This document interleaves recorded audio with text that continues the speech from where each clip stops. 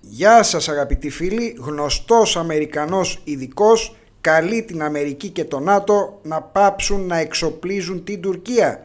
Ούτε F-16 ούτε όπλα για την Άγκυρα που αρνείται την κανονικότητα του ΝΑΤΟ.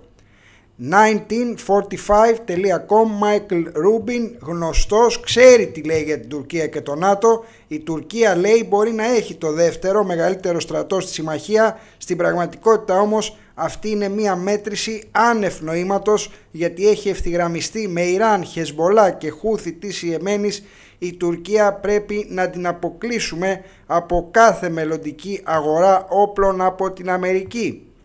Το White House, ο Λευκός Οίκος, το Πεντάγωνο, το State Department όχι μόνο πρέπει να βάλουν δημόσια τα F-16 εκτός συζητήσεως, έξω από το τραπέζι για την Τουρκία του Ερντογάν, αλλά και να ανακοινώσουν ότι μέχρι νεοτέρας κάθε βοήθεια της Αμερικής προς την Τουρκία θα περιοριστεί σε μη θανατηφόρα αγαθά, κουβέρτες δηλαδή ιατρικά kit για παράδειγμα. Η Τουρκία μπορεί να παραπονεθεί αλλά τα μη θανατηφόρα αγαθά δεν θα συμβάλλουν στη διεύρυνση του πολέμου στην Ανατολική Μεσόγειο, στόχος που έχει παραδεχθεί ο ίδιος ο Ερτογάν ότι θα μπορούσε να έρθει κάθε στιγμή, ανα πάσα στιγμή. Τα όπλα και άλλα αγαθά που είχαν δεσμευθεί για την Τουρκία προηγουμένως μπορούμε να τα ανακατευθύνουμε σε πελάτες που αξίζουν περισσότερο. Ισραήλ, Ελλάδα, Κύπρος, Αρμενία ή ακόμα και στον, ε, στις ε, Συριακές Δημοκρατικές Δυνάμεις που παραμένουν στην πρώτη γραμμή άμυνας ενάντια στην επανεφάνιση του Ισλαμικού κράτους.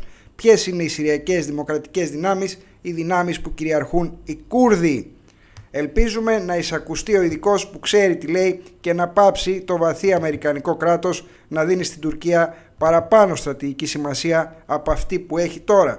Ίσως να την είχε πριν τη διάλυση της Σοβιετικής Ένωσης. Ίσως για κάποιες δεκαετίες να υποδιόταν τον πιστό σύμμαχο της Αμερικής. Είναι καιρός πια που η Τουρκία έχει αναχωρήσει από τη συμμαχία και η συνέχιση του εξοπλισμού της από τη Δύση και την Αμερική μόνο κακό κάνει όχι μόνο σε όλα τα κράτη της περιοχής και τους στενούς συμμάχους των ΗΠΑ αλλά και στις ίδιες τις Ηνωμένες Πολιτείες. Αυτά προς το παρόν.